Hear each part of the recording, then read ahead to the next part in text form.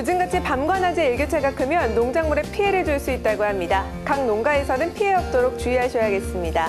농산물 가격 동향 알아보겠습니다. 양재점입니다. 오이가 30원 내렸고 수박은 1,000원 올랐습니다. 고향점은 대파가 150원 내렸고 오이가 500원 내렸고요.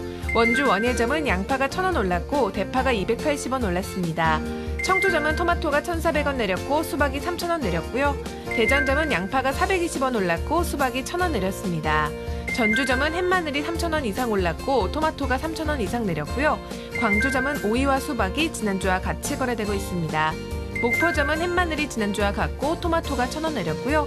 대구 성서점은 햇마늘이 지난주와 같고 수박이 2,000원 이상 내렸습니다.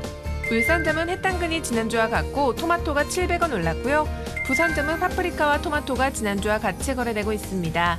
제주점은 깐대파가 지난주와 같고 수박이 2,000원 내렸습니다.